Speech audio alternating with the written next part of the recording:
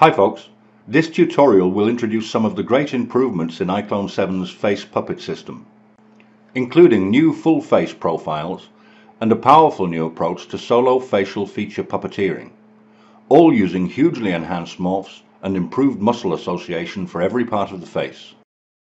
Okay, let's get started. Experienced iClone users will be familiar with the Face Puppet interface, but even for new users, it's an amazingly simple and intuitive way to drive facial animation using your mouse.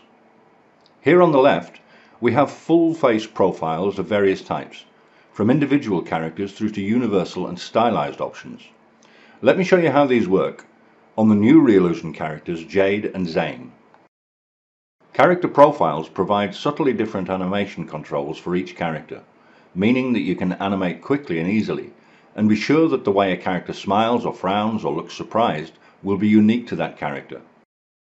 Now, for speed when previewing the full face profiles, you can actually switch profiles just by using hotkeys on your keyboard.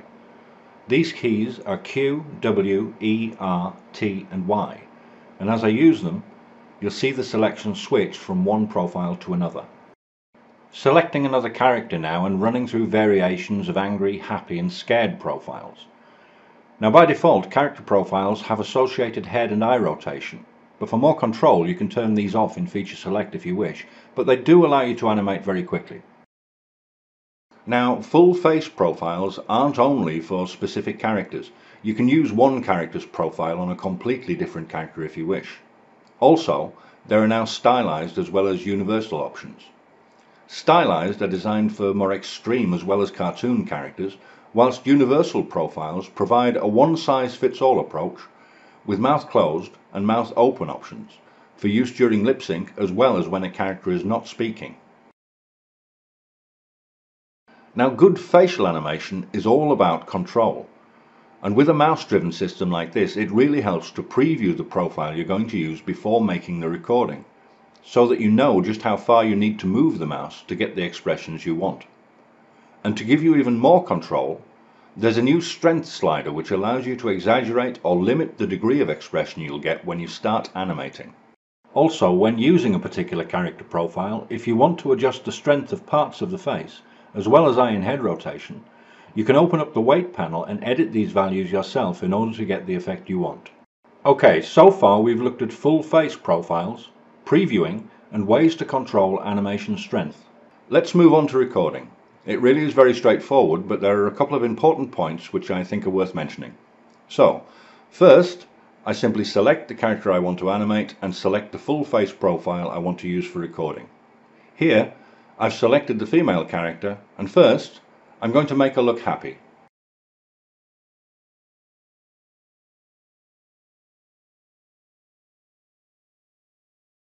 Now, I want to make her appear to be sad instead, so I'm going to record over the previous animation clip. But notice that I'm unchecking the Blend Data on Next Recording checkbox. This means I'll completely overwrite the previous clip.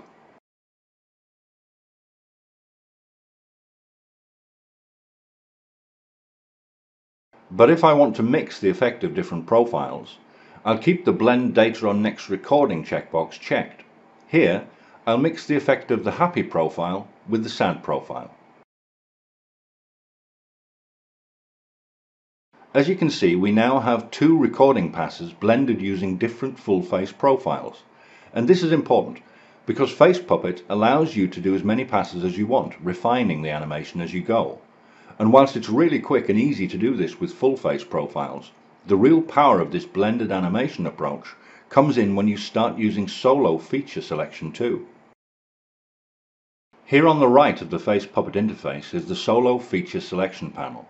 At first glance, this looks deceptively simple. In fact, you may have noticed that when selecting many of the full face profiles, some of the features here show up in green, which indicates the primary muscle groups which are activated by a profile. But if we deselect the current profile and click on a feature here, you'll see that for each individual feature, there are lots of new feature profiles which show up as thumbnails below the feature selection head. You can hover over these thumbnails with your mouse to see a tooltip of what they do when selected. So now, I'll quickly demonstrate some individual feature selections and their profiles. You'll notice the arrows on the profile icons indicate which mouse movements have an effect. The system is specifically designed to allow you to create virtually any natural part expression, from subtle eyebrow movements through to very particular profiles for the mouth, which allow you to open and close the lips in various ways, both to help with improving lip sync as well as to allow many kinds of bared teeth and tight-lipped expressions. So for each individual feature, you have a number of profiles which you can select. And once you have selected a feature profile, you can select another feature and another profile. In fact, you can combine these selections in any which way you want. But here, I'm selecting both eyebrows and a simple up-down profile. Let's record that.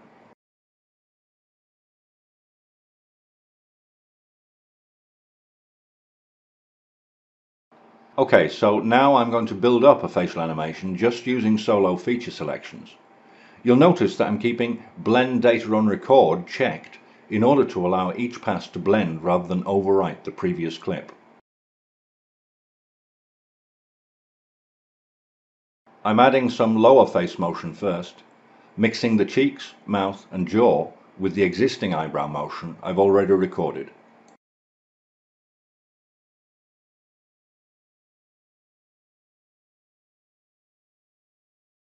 Next, I'll add some head motion.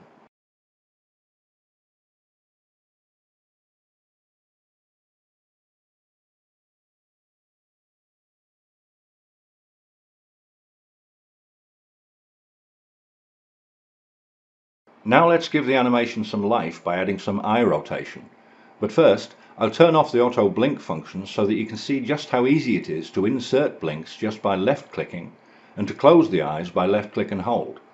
I'll preview the eyes first before recording.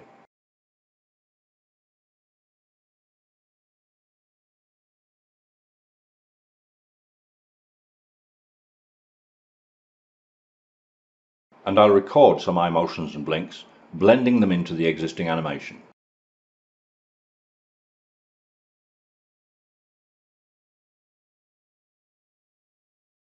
So that's quite a simple animation created purely using solo feature profiles.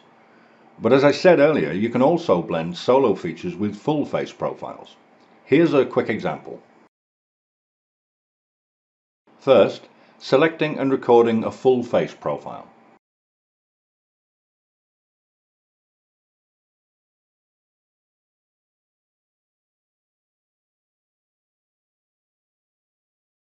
Next, selecting solo feature profiles and blending with the original animation.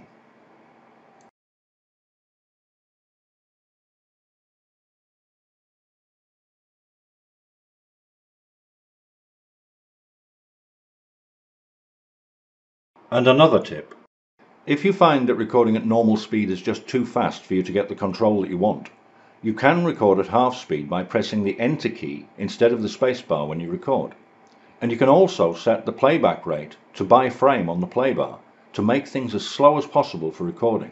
This will give you much more control.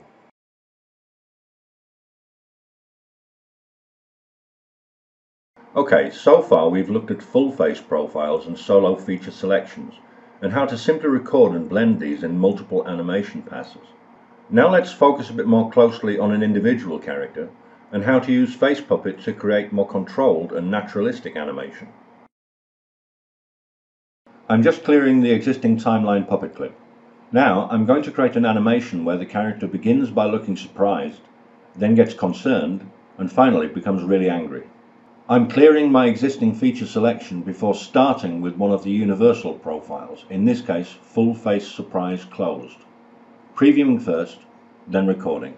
I'm using 50% recording speed, as well as the playback by frame setting for control. Now, I'm just blocking things in to start with. Next, I'll use a fear profile to give the character a concerned look.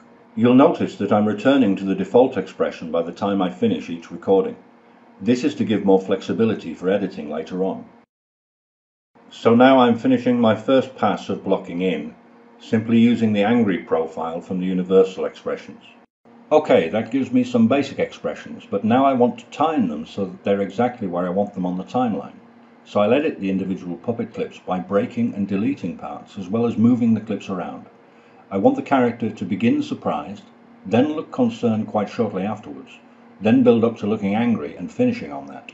I'm removing sections of clip which I don't want and using transitions to blend the areas I want to keep. And now the animation has the primary expressions where I want them, I'll start using Face FacePuppet's solo feature to make some enhancements to the brows, eyes and mouth. First, I'm simply enhancing the brows up and down motion. You'll see that this pass blends with the previously edited clips to produce a new single clip on the timeline. Now I'll edit the eyelids, making them wide and making them squint when I want. But this time, instead of doing a single pass throughout the timeline, I'll do this at specific points. One of iClone 7's new features is that you can start and stop blending puppet clips at any point on the timeline, which again gives you more control. Next, I want to make the character look more surprised at the start and much more angry at the end. So I'll use the mouth and jaw solo feature selections to enhance these. First, opening the mouth during the start section. Then, increasingly baring the teeth and snarling as the character becomes more angry. Next, I'll add some cheek and nose enhancement, this time in a single pass through the whole clip. But it's important to remember when working with FacePuppet that you aren't limited to single linear passes. As I've shown, you can blend in new clips at any point, and if you don't like particular sections or you want to retime them, you can break the clip into pieces and delete and move sections around using transitions to blend between clips. So let's start this sequence with the surprised mouth open expression, holding it a little using the timeline clip speed function, then moving into the rest of the animation.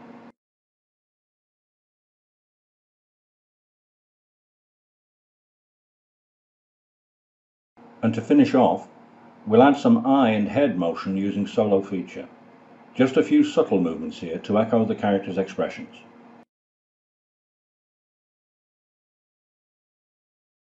Now, Face Puppet can be used at many levels, from quick single linear passes using full face profiles, solo features or a mixture of the two, through to multiple non-linear passes, along with clip editing on the timeline to really start polishing timings and expressions. But there's more. Using the system along with the new face key approach in iClone 7 allows you to combine Face Puppet's mouse-driven expression recording and editing with an advanced set of expression keyframing tools. And FaceKey will be the subject of another tutorial. Thanks for watching.